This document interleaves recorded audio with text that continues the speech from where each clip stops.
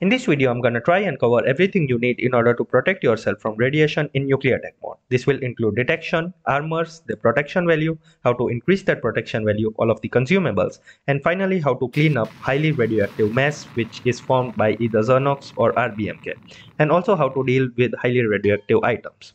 So yeah, hopefully this guide will be helpful and without any further ado, let's get straight into this video. For detecting radiation in this mod, we have the Geiger counter, the handheld variant and the normal block variant.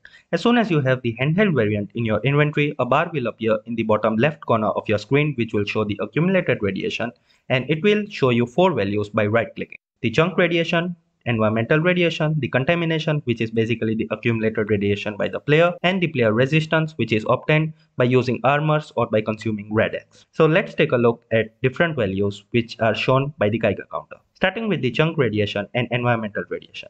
So for example, I'm going to take this plutonium-239 block which is going to emit 50 watts per second. And if I place this block in this chunk, then this chunk is going to be irradiated. As you can see, all of the grass will turn into dead grass.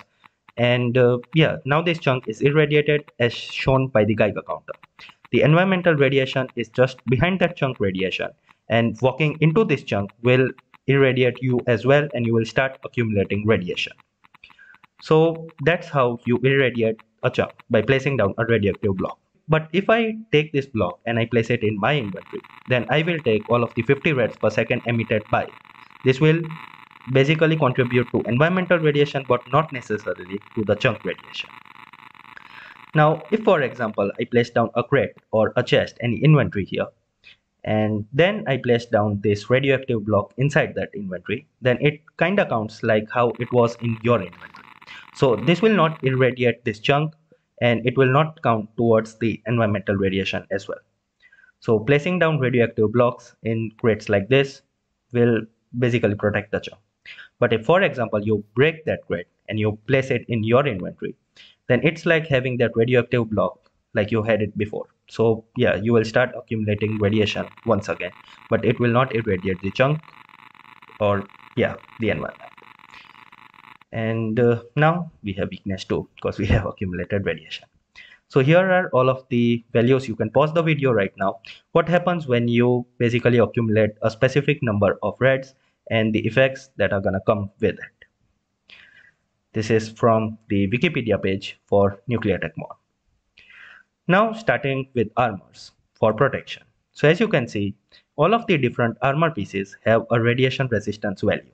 Different armor pieces means different resistance value. The hazmat suit is less value, the high performance hazmat suit has very high value. So by wearing these pieces, you will basically add up all of the resistance value and it will give you a percentage number. So right now you can see the player resistance is 74.88% and with the high performance one, we have 99% radiation resistance. That means that any radioactive block will only give its 1% radiation to us. 99% will be omitted. So 100 radiation per second is only giving us 1 radiation per second. Iron and gold armor have a resistance value of 5.04%. Then we have the steel and titanium armor with 9.84%. Advanced alloy has 14.88%. Next up we have cobalt with 25.01%. Now jumping up in value, we have the hazmat suit with a value of 74.88%. Next up, security armor 85.03% and at 89.99% we have the T45 Trenchmaster and advanced hazmat suit. Now lunar cybernetic armor will give 93.69% and next up we have steam suit, steel ranger, AJR power armor, CMB steel armor and star metal armor. All of these have a value of 94.98%. The PA hazmat suit has 98%, the Remnant's power armor, MITI, environmental suit and high performance have 99%, the HEV Mark IV 99.49, Liquidator 99.6, Schrabidium at 99.89 and the finally FAU armor and DNT at 99.99. But these are the base values. These can be increased using desh cladding or basically any cladding. There are a total of four types. So for an example, I'm gonna take high performance it has a base value of 99 but if I increase its value using claddings then yeah you can see the radiation resistance value going up and these claddings can be used with every armor piece So yeah, now we have a total radiation resistance of 99.84 which is just below Schrabidium. So that is why claddings are pretty useful and as I told you we have rubber, lead, desh and ghiorsium. So these are the four types of cladding available with each their different value. Another way to increase the res resistance is using RADX. So it will increase the radiation resistance by 0.2 for a total of 3 minutes.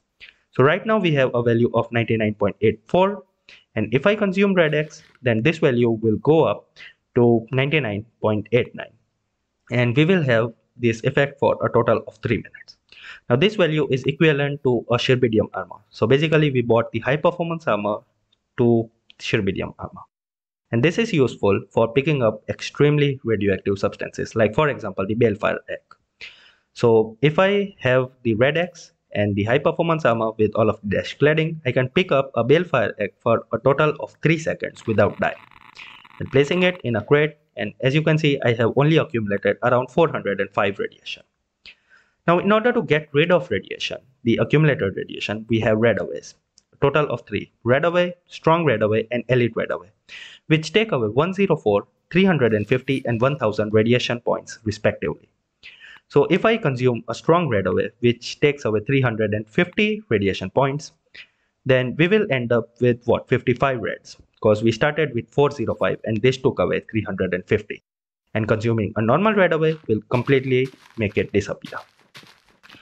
Then we have the player decontaminator because RADAWAYs are consumables you can only use them one time. So if for example you have accumulated a lot of radiation, then the decontaminator will get rid of it at 10 rads per second. The more there are, the better it is. So it works really well as a base entrance or a nuclear power plant entrance. So just by standing on this, you can get rid of all of the accumulated radiation that you have. So these blocks are very handy. Finally, we have the radiation absorbers, total 4 tiers. I have placed down radioactive barrels and they have irradiated a 3x3 chunk area and the closer you get in, the more radiation there is. So by placing down the radiation absorber, you can get rid of the chunk radiation or at least control it and minimize it. So as you can see, the chunk radiation values have come down compared to what they were before. And if I get rid of all of the nuclear barrels, this will completely get rid of all of the radiation in that chunk. And finally, we have the containment box. Containment box is pretty important as it severely decreases the amount of radiation emitted. So from 1200 rads per second, we came down to 34 rads per second, which is a drastic change to say the least. So that's why containment box is very important when it comes to picking up extremely radioactive substances like the balefire egg or a lot of depleted nuclear fuel blocks or fuel rods, for example. Alright, so that was all about containment. Now let's start and take a look on how to clean up radiation or basically meltdowns. So here I have exploded a Zirnox reactor, but the process for Zirnox is pretty much straightforward. I'm going to use a high performance armor with desh claddings and also the speed upgrades. First of all, pick up every chunk that there is on the perimeter and you can make a 3x3 area like this of decontaminators. Once you have picked up all of these small chunks, so that you don't accidentally pick them up when you're walking around in your world, we can get rid of the main destroyed Zirnox body. And Zirnox actually doesn't really give off that much radiation, so cleaning it up shouldn't be very difficult to say the least. And once you break the Zirnox, it will give you all of the respective pieces. And now all that you need to do is get rid of all of the fallout which can be done with a shovel so that you can use this in a generator, the radiation generator. And once you basically quickly get rid of fallout and place down some radiation absorbers in here that should prevent from basically that should prevent fallout from generating further. And uh, here we go. I'm gonna place down some radiation absorbers. And uh, yeah this process did take some time like 20 minutes. But at the end you can see there is nearly no radiation in the chunk. And this environmental radiation that you can see is from the fallout so this was the Zirnox cleanup it is simple compared to an RBMK cleanup because when it comes to RBMK the radiation values reach like very high level. They sometimes go over 75,000 rads per second. So here we have an RBMK explosion and this time I'm gonna go with a liquidator suit instead of the high performance hazmat suit. So the process is going to be the same but this time I'm going to build a decontaminator area first, going to place a crate near it and pick up all of the chunks from the perimeter. The most important chunks that you need to pick up are the fuel rod, the broken fuel chunks, as these will be used in making the liquidator medal, which is an armor modification that gives you what 10 negative 10 rads per second. So yeah, this is important. Now breaking cobblestone and corium is difficult as it takes time with a normal pickaxe. So I recommend you use a pickaxe which gives you speed, which gives you haste and also use that armor modification for haste so that you can quickly get rid of them. But if you work in this area for like a long amount of time, then you will have permanent nausea and weakness because the gas mask which are installed will basically go away and so will your consumables. So once there was permanent nausea, I just died, respawned quickly, and then made a bridge and this time used a null grenade to get rid of the remaining corium and the destroyed RBMK pieces. Because as I told you, the main blocks here will be the fuel rod which will be used to make the uh, liquidator metal armor modification. So once you have properly placed down a null grenade here, it will get rid of the destroyed blocks and then you can get rid of all of the fallout but if you're not going to recycle or use any of the components, then there's always the option of using a Fork Wagner weapon to get rid of the entire reactor along with its surrounding to get rid of the radiation. So I hope you guys found this video helpful. If you did, please do smash that like button and also subscribe to the channel for more content like this. I will see you guys in the next video. Till then, peace out and stay safe.